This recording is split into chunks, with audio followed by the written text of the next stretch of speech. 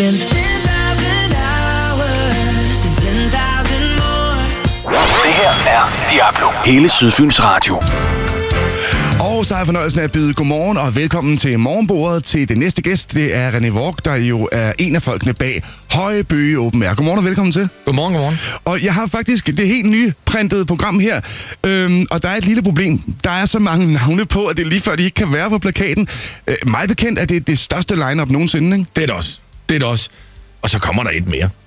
Men det, ja, ja, det vidste du ikke. Det har jeg ikke engang fortalt dig, inden vi gik på. Nej, nej. Der kommer også, også være lidt til foråret.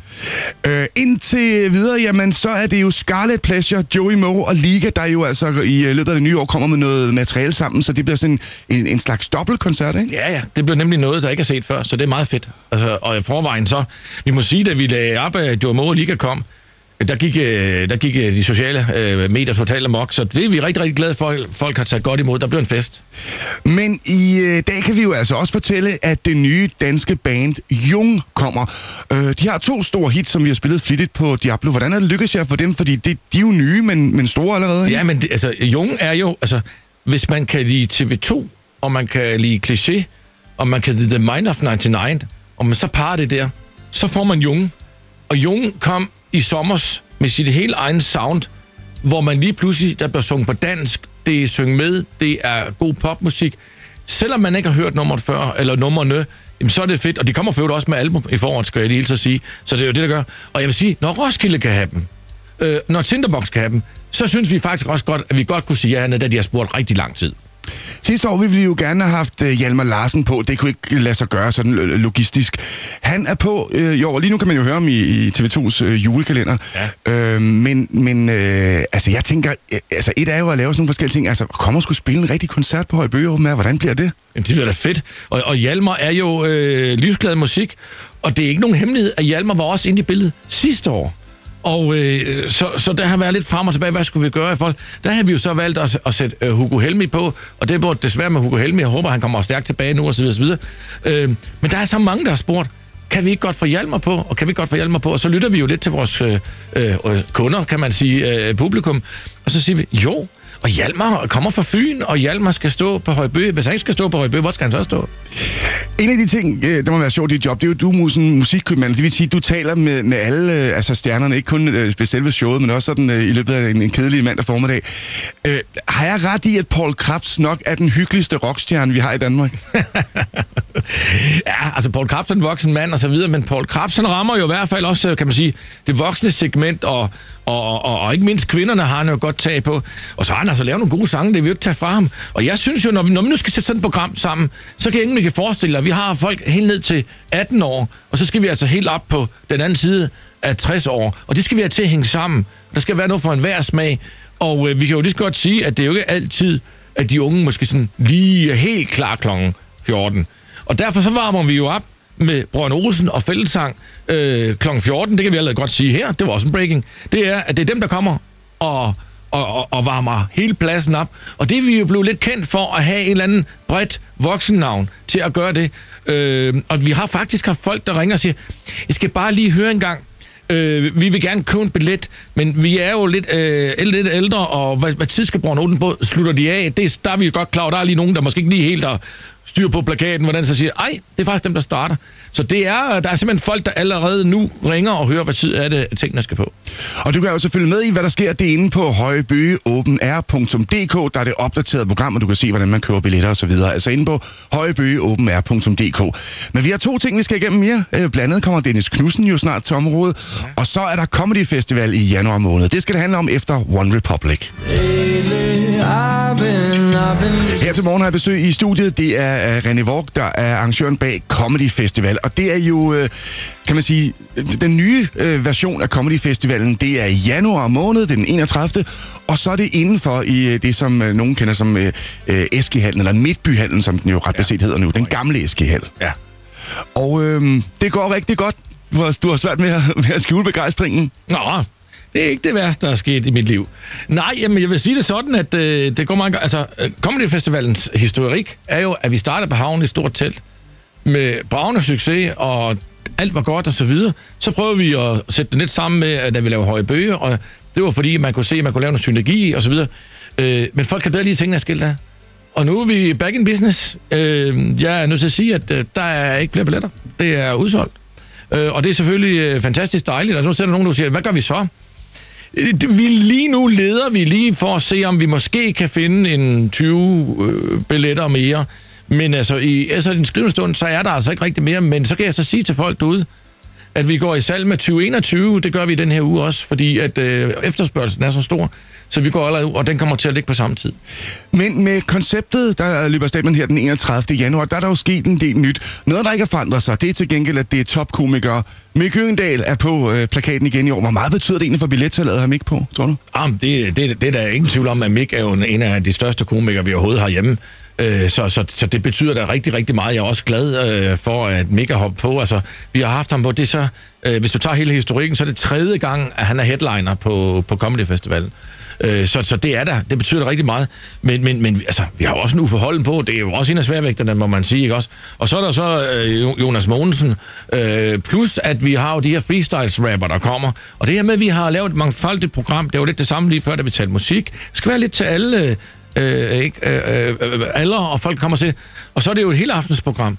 Og, og så slutter vi jo af med, med afterparty, og det er jo det. Jeg skulle til at sige, fordi at jeg har haft nogle gange, når vi har været til Comedy Festival, jeg har haft det, man sidder og griner, man har hygget sig, man har fået lidt at drikke, og så slutter festen. Men det gør den jo ikke den her gang. Den her gang, der fortsætter den. Det er rigtigt. Der har vi afterparty øh, fra klokken 22 til 24, og der har vi jo og der har vi det største navn jo. Det største, største navn, der skal...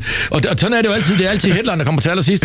Øh, og, og, og Danny, der har vi jo hørt dig. Yes. Og det er vi jo glade ved, at du har lige tid til at komme forbi og gøre det. Øh, du har fået også øh, udmærket og god konferencier på selve øh, festivalen. Jo. Og det er en af de ting, jeg tror bliver lidt sjovt, det der med, når man har siddet og grinet sammen, når man er blevet rystet sammen, ikke? så i stedet for at bryde op, så det der med, at, at så kan man lige tage festen til næste skridt. Jamen det, jamen det er rigtigt, og, øh, og kan blive der, og, og, og, og øh, det er koldt udenfor, og vi kan jo lige så godt øh, hygge os. Og hvis det så er, at man gerne vil videre derefter, efter 24, jamen så har vi jo lavet en fantastisk aftale med Crazy Daisy, hvor man kommer ned, og der er fri entré, og jeg kan se første omgang på husets regning. Så det vil sige, at når man nu, at du har varmet den rigtig godt op, Danny, øh, og vi forhåbentlig alt sammen er glade, så sender vi dem videre ned til Crazy Daisy, og så fyrer de den af dernede. Og hvad der, så er alle glade. Lige om lidt skal det handle om en, som jeg ved kan fyre den af, for jeg har nemlig set ham mange gange til fester. Det er Dennis Knudsen. Han Ja. kommer nemlig snart til Sydfyn, og du har mulighed for at møde ham. Hør, hvordan det foregår lige om et øjeblik. Inden da er det i selskab med Julie. Den er 19 minutter over 9 her, Completely Fallen. Nu skal det handle om Dennis Knudsen, stilikon, og jo en mand, der gennem årtier har været med til at forme både øh, moden og øh, altså, hvad der var smart i Danmark. Nu bliver der mulighed for at møde Dennis Knudsen helt tæt på. Ja, altså som har øh, beskæftiget sig med de kendte og de kongelige i årtier, som du siger, øh, er regnbuefar og alt muligt andet godt, og har gennemført tre Ironman. Øh, det, er sgu, det er sgu en sej gut, vi har med at gøre her. Og meget arbejde, som nu har kendt Dennis Knudsen i 20 år. Øh, og Dennis Knudsen er virkelig en mand, der knokler for tingene, og det, det har jeg stor, stor respekt for. Øh, og nu øh, synes vi, det kunne være interessant. Øh, vi har haft et par arrangementer med ham her i efteråret, og der har faktisk også været totalt udsolgt.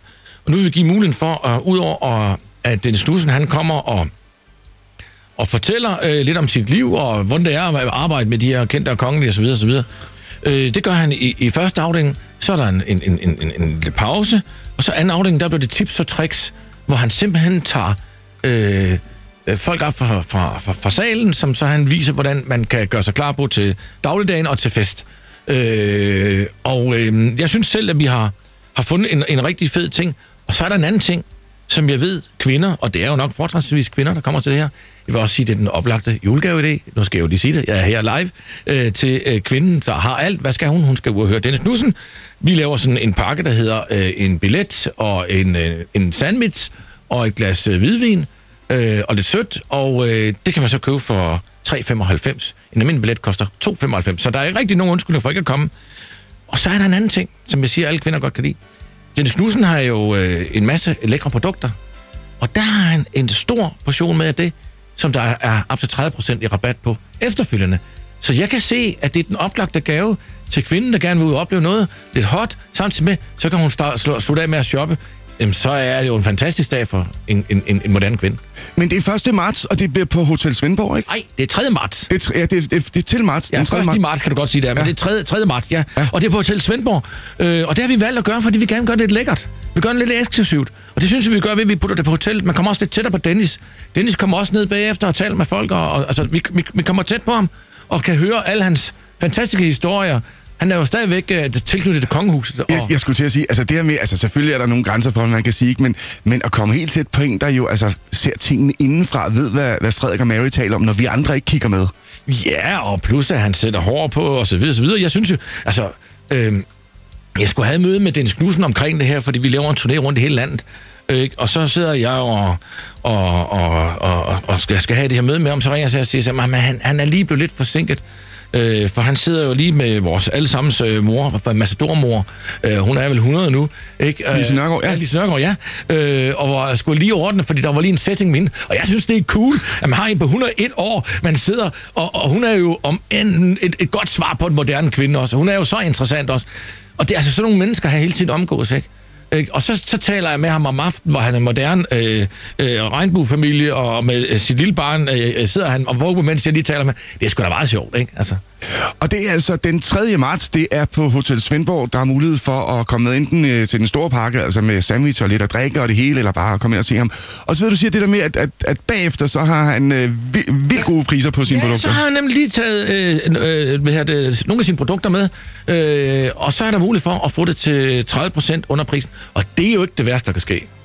Hvis man øh, nu er brændt varm på nogle af alle de her idéer, så skal jeg sige, at øh, man altså inde på øh, højebøgeopenr.dk kan se mere om Højebøge, og så ellers på billet.dk, der er der mulighed for at købe billetter både til øh, Dennis Stussen arrangementet, og hvis der skulle komme et par billetter til Comedy mere i, i salg. Det kunne Ja, være. vi må se, hvad vi kan gøre.